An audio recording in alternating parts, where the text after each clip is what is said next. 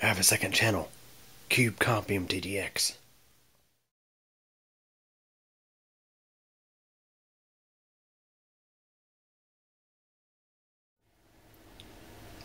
Hey everybody.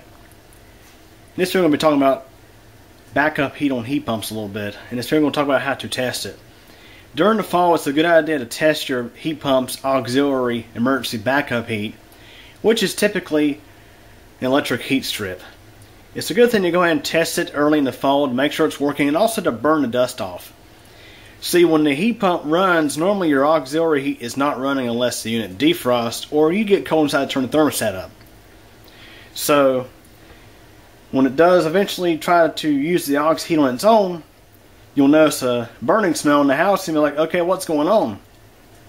So, this will eliminate that and also it'll ensure that your backup heat does work in the event that, let's say, if it gets too cold outside or your heat pump fails, your backup heat will work. So what we're going to do is we're going to set it over from heat to emergency heat. I had the fan set on because I happened to catch this thing running um, after the heat pump shut off and I set this on to stop the blower from shutting off. So, I'm going to set this to emergency heat. I'm going to turn it up to 70.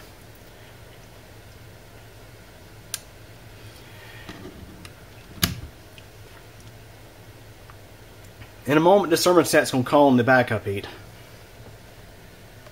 which is electric heat. Your heat pump's electric heat might run off of a sequencer. This one runs off of a, a contactor because it comes on very quickly once the thermostat calls for it.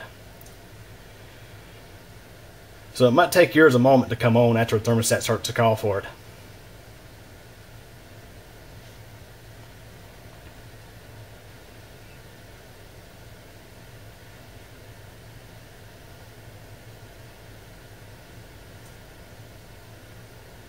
This thing does take a while to call.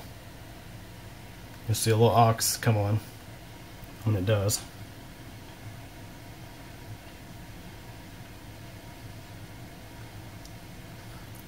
There it goes.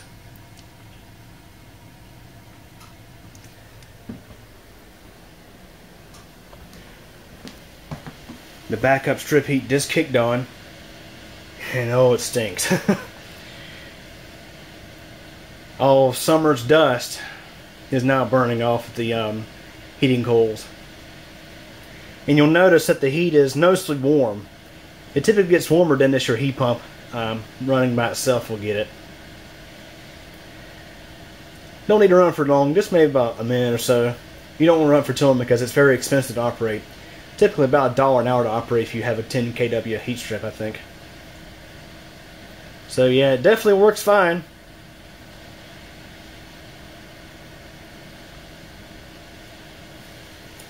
Now we can go ahead and switch it back off.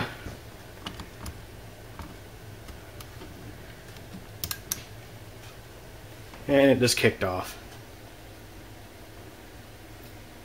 Because now I'm going to fire up the much cheaper form of heating. Yeah, the wood stove. So anyways, that's a way you can test your heat pump's auxiliary backup heat. It's a good idea to test it early in the fall. Um, before it starts getting down to close to freezing, now my heat actually have a switch installed on it to prevent the um, defrost control or thermostat from calling it on because there are many times, most commonly with the thermostat, I decided to knock up a bit, where the heat pump would easily be able to heat the place on its own. And I wouldn't recommend an average average Joe do this to your system, but I happen to know a little bit about HVAC and I prefer to save a little bit of money once in a while on electricity, so anyways, again, that's how you can test your, your backup heat. Make sure it works. It's better to know that it works and burn off the, the, the, um, the nasty smell than to either be like, what's that smell? Or, dang, it's cold in here. Why is my heat not working? So in addition to testing out and burning the dust off your emergency heat or your backup heat, I also recommend going ahead and change out your filter uh, before you start heating with your heat pump during the fall. Um, the previous the previous video you just watched was shot last year, and I'm actually uploading all this together this year. So I'd actually would recommend changing out your filter before you even start the procedures that I had covered previously. That way you're starting out with a fresh filter. Um, here's why it's important.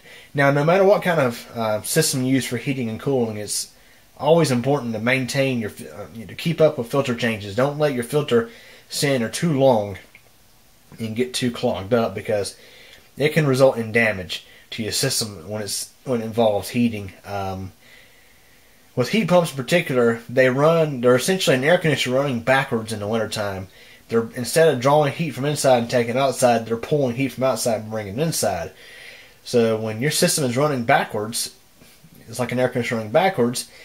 The inside coil is like the condenser coil, more or less. It's um, it's got the head pressure in it, and when your filter gets clogged up and airflow is not sufficient, it will cause your compressor, or it can cause the head pressure to get way too high and potentially um, cause damage to the compressor over the long term, or cause your um, high pressure switch to activate and shut off the system uh, momentarily, which is not good for the switch nor the rest of your system.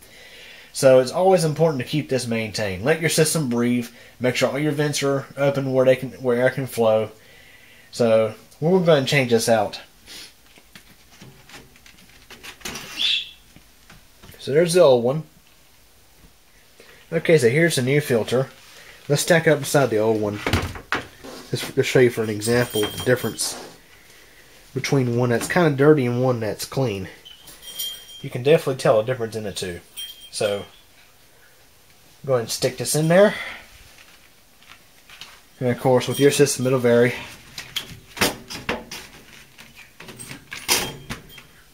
So there we go.